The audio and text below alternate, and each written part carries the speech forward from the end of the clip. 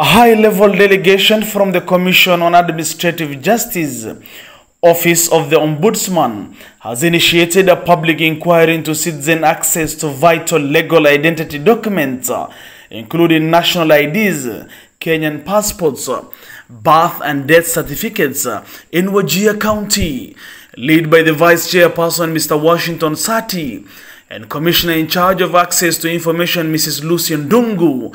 The delegation held a consultative meeting to address factors hindering access to these crucial documents, uh, which are enshrined in the Constitution. The Commission, in partnership with the Geneva Center for Security Sector Governance, uh, DCAF, uh, has collaborated to launch this initiative. Through the partnership, the Commission gathers complaints from various individuals and organizations, uh, members of civil society, representatives from the fourth state, uh, religious leaders, opinion leaders, and other stakeholders have highlighted challenges faced in accessing legal identity document. uh, During a press briefing at Wajir Palace Hotel, the Commission pledged to document all challenges encountered by Wajir community concerning access to these vital documents. uh. So thank you and uh, greetings to everyone from Wajir and the neighboring county. My name is uh, Commissioner Washington Opio Sati, the Vice Chairperson of the Office of the Ombudsman, also known as the Commission on Administrative Justice.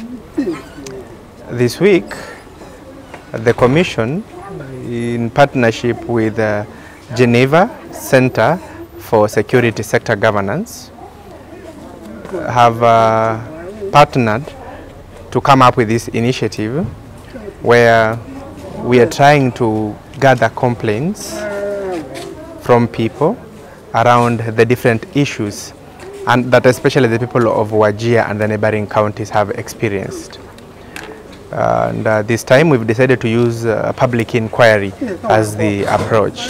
So this is one of the method that the Constitution and the CAJ Act empowers us to do.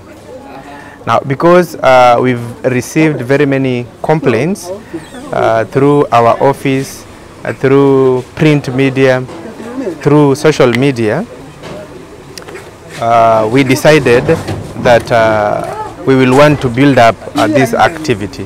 Why? Because those complaints have been there for years. And the idea is to ensure that the people of Wajir and uh, around will find solution to these problems. And that's why we are here.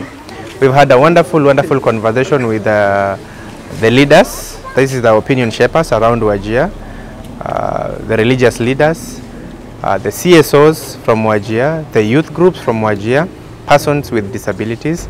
have had an opportunity to, to have an interaction with us today.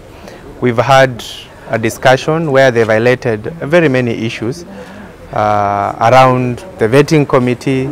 Why? Because some of them felt that this is the barrier. Why? Because some of the questions that uh, come up from the committee are uh, in a way discriminative. Good afternoon. My name is Commissioner Lucy Ndung'u, Designated Access to Information Commissioner in the Commission on Administrative Justice. As has been said, we are here in a platform of inquiry whereby we want to establish the hindrances which the wananchi have complained related to the issuance of legal documents, birth certificate, death, uh, birth certificate, passports, and also identity cards issued to the people of Wajir. Like our commissioner has said, we have had a good discussion, and tomorrow we will now hear from the members of the public at the Red Cross offices. Thank you very much. I'm Hashim Mohammed Al Moge, uh, a prominent advocate of good governance and an activist based in Wajir County. We are privileged to have been visited by the Commission on Administrative Justice, also known as the Ombudsman in Wajir today. And uh, as we all know, uh, maladministration is the province of the Ombudsman.